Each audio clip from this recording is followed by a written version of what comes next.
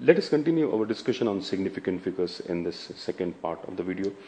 In the previous video, in part 1, we discussed how propagation of error happens when we have two physical quantities, quantities being um, added or subtracted. Right? In this video, I am again going to look at propagation of errors and we're going to see what happens when we have two physical quantities and we are multiplying them or dividing them. So uh, we will start with multiplication. Let us say we have a physical quantity z and we are, which comes out of multiplication of two physical quantities x and y. Now we'll follow the same method as we did uh, when we did uh, uh addition or subtraction. So z is equal to x plus y. That will give me z plus minus delta z is equal to x plus minus delta x and y plus minus delta y. Right? If you are watching this video before you watch the part one, then uh, just for your information, uh, Z is a physical quantity which comes out of uh, product of two physical quantities x and y, and delta Z, delta x, and delta y. They are the errors in the measurement of these three physical quantities. Uh, so if, I, if I open the bracket, I'll get x, y plus minus x delta y plus minus delta x into y plus minus delta x delta y right? and this will be z plus minus delta z. Now uh, we will make an assumption that since delta x and delta y these uh, this number will be extremely small because delta x is error and it will be a number less than 1. Similarly delta y also will be less than 1 and we know we have learned in math that when you multiply two numbers uh, which are less than 1 the further decrease for example if I have 0.1 multiplied by 0.2 both these numbers are less than 1 the product would be lesser than either of them. 0.1 by 0.2 will give me 0.02 right which is smaller than 0.1 and 0.2 and if I multiply another number to this uh, which is less than 1 for example if I multiply this by 0.1 right all three are lesser than 1 and the, the answer to this I'll get as 0.002 which is still smaller than that Similar, same way over here, delta x and delta y are less than 1. So the product will be very, very small and therefore I'll ignore this part. And therefore the equation will become delta is equal to xy plus minus x delta y plus minus y delta x. Right? And z is equal to xy as we see over here. So z and xy, these two terms will get cancelled out and therefore I'll get plus minus delta z is equal to plus minus x delta y plus minus y delta x. Uh, what I'll do is I'll divide by z throughout. So I'll get uh, plus minus delta z by z is equal to plus minus x delta y dividing by z. Now z is x y, so I can write here x y. That is I divided by x y plus minus y delta x divided by x y. Right? So I have divided by z throughout. So I get plus minus delta z upon z is equal to xx gets cancelled. So I'll get delta y upon y plus minus delta x upon x. And as we discussed in an earlier video delta z upon z is the relative error in z. Delta y upon y is the relative error in y and delta x upon x is the relative error in x. So this is how the relationship relationship comes in that when we multiply when we have a physical quantity coming out of multiplication the relative error of the two physical quantities if you add them up you'll get the relative error in the physical quantity in the th in the final physical quantity. Uh, if I multiply this by 100 throughout, I'll get uh, the percentage error in uh, z. Uh, if I write it over here, plus minus delta z or delta z upon z into 100 is equal to plus minus delta y upon y into 100 plus minus delta x upon x into 100. Right? These are the percentage errors in x and y. And as we discussed earlier, the maximum value of this error, the maximum will be when we have got plus sign for all this. So I'll get the maximum value of the relative error delta z upon z is equal to delta x upon x plus delta y upon y. And this is what I finally get. So from this I conclude that when two physical quantities are multiplied, the relative error, the summation of the relative error of these two quantities is equal to the relative error in the final quantity. Delta z upon z is equal to delta x upon x plus delta y upon y. And this is the maximum error in the physical quantity z. Uh, let us quickly do something uh, related to division, right?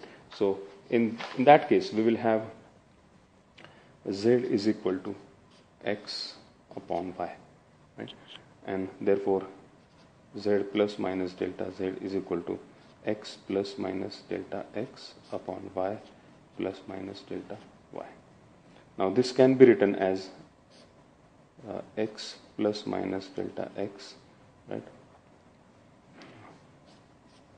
multiplied by y plus minus delta y power 1 z plus minus delta z.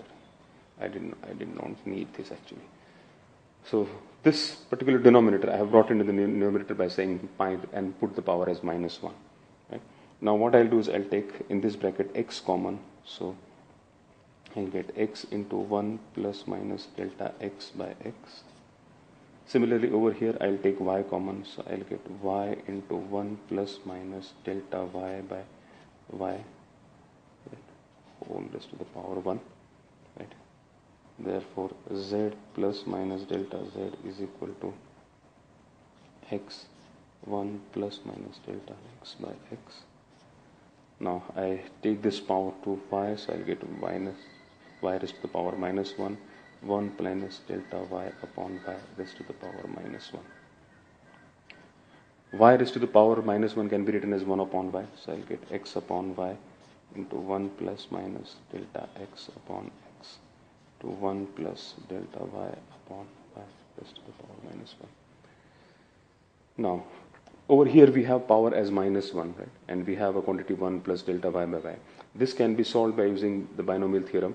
Binomial theorem says that uh, 1 plus p whole raised to the power n.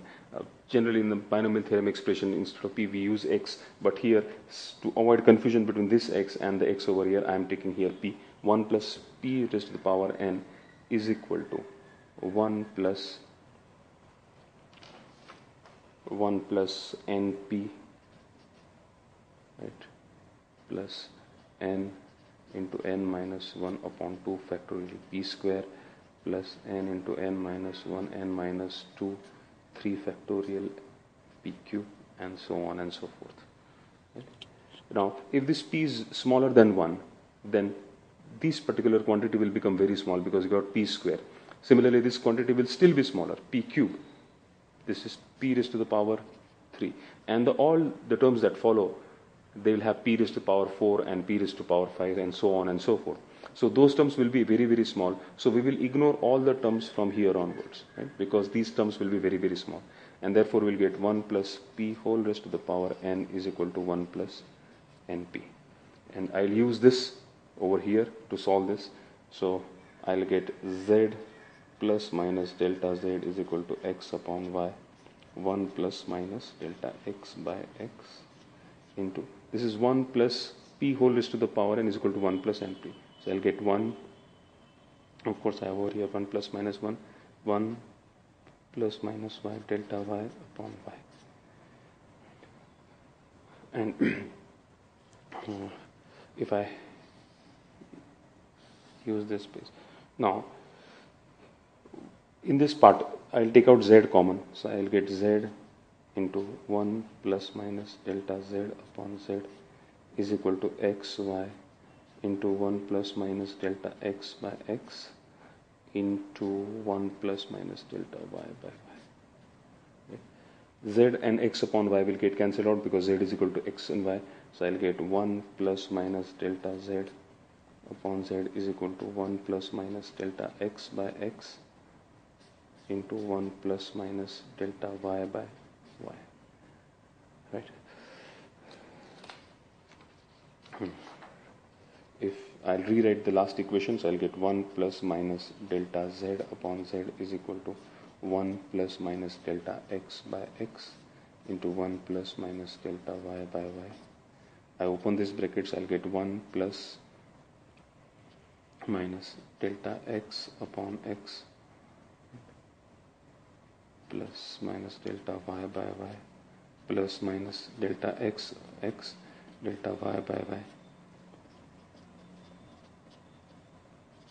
As always, we'll ignore this part because um, it will be a very, very small quantity and 1 and 1 will get cancelled. So I'll get delta z upon z plus minus is equal to plus minus delta x by x plus minus delta y by y.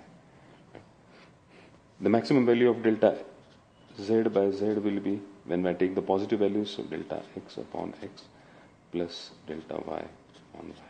Okay. So you can see that I come back to the same equation which I had when we did multiplication, right? So if I again one look look at this, this is what I had got when we did multiplication.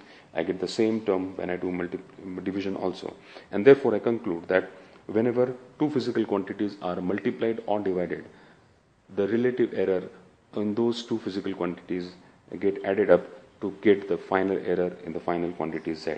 Right? So uh, what we can say is uh, when we have addition or subtraction errors get added. But when we have multiplication or division then relative errors get added. Get added. If you remember when we uh, we have addition and subtraction we get delta z is equal to delta x plus del plus delta y right? So the errors in the terms are getting added. This is what we had when we had addition or subtraction. But when we have multiplication or division we have we get this equation. That means the relative errors get added up right? Uh, with this uh, i have completed this video on uh, propagation of errors. Uh, i would recommend that uh, you look at a few numericals few questions on uh, errors and practice how errors get propagated when we have any of these operations and then you'll get a good idea about how to handle errors and how to interpret errors whenever they are given to you. Thank you.